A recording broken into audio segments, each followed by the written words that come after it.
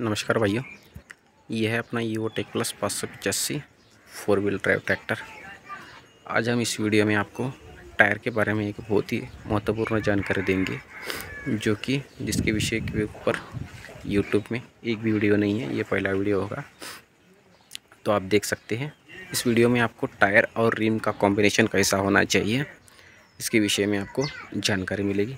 तो देख सकते हैं भाइयों ये है चौदह नौ अट्ठाईस का टायर साइज़ और इसके नीचे लिखा गया है on V W on W तेरह रिम रिप्लेसेस तेरह अट्ठाईस.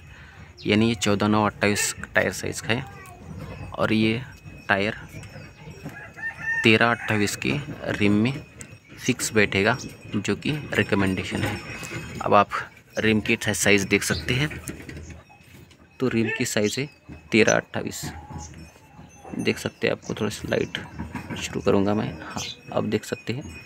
तेरह अट्ठाईस डब्लू तेरह अट्ठाईस का रिम का साइज़ है। तो ये तो साइज़ ठीक है, और आप टायर भी देखना रिम में।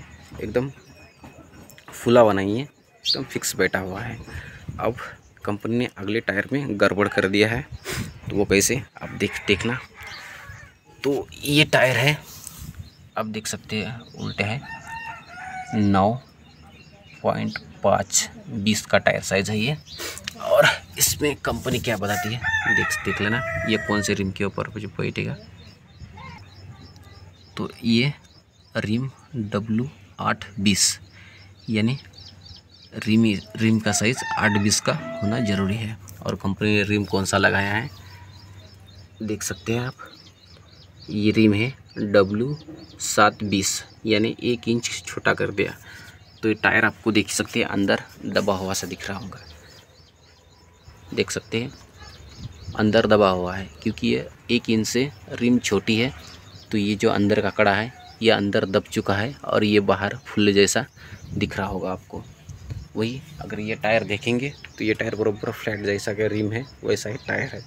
ना नीचे ज़्यादा बाहर निकला हुआ है, ना ऊपर। तो ये गड़बड़ कर दिया है कंपनी ने कौन सी कंपनी है? महिंद्रा कंपनी है। जानी मानी कंपनी महिंद्रा होकर भी इंजीनियर को इतना समझ में नहीं आया कि नौ पाँच बीस का टायर साइज़ के लिए रिम कौन सी चाहिए। टायर कंपनी खुद बता रही है कि नौ पाँच बीस का टायर साइज़, देख सकते हैं, आठ डब्लू आठ बीस का रिम होना चाहिए और कंपनी लगा दिया है सात का। देख सकते हैं ये रिम साइज़ दूसरे ये रिम की साइज़ दूसरे टायर के लिए सूटेबल है। ये नौ पाँच बीस के लिए नहीं है। क्योंकि मैं इसी ट्रैक्टर में, ये मेरा फाइव एट फाइव पचास एच का ट्रैक्टर है। तो इसमें अभी ग्यारह दो बीस का टायर साइज़ आ रहा है। तो मैंने रिसर्च की, ग्यारह दो बीस के टायर साइज़ के लिए रिम साइज़ क्या है?